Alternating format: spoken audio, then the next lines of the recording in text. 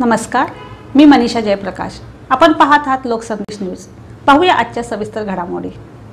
जिल्हा पोलीस अधीक्षक डॉक्टर बसवराज तेली यांच्या संकल्पनेतून मार्गदर्शनाखाली सांगली जिल्हा police cooperative credit society limited Sangli या संस्थेमार्फत सर्व सभासदांसाठी पोलीस संजीवनी फंड कर्ज सुरक्षा योजना सुरू करण्यात आली. ही कर्ज सुरक्षा योजना महाराष्ट्रात पोलीस सोसायटी अंतर्गत चालवण्यात येणारी पहिली योजना असून सदर योजनेचे कार्यारंभ आणि प्रकाशन जिल्हा पोलीस अधीक्षक डॉक्टर बसवराज तेली श्री अरविंद बोडके पोलीस निरीक्षक अतिरिक्त पोलीस उपाधीक्षक मुख्यालय यांच्या शुभ हस्ते पोलीस अधीक्षक कार्यालय इथं करण्यात आले.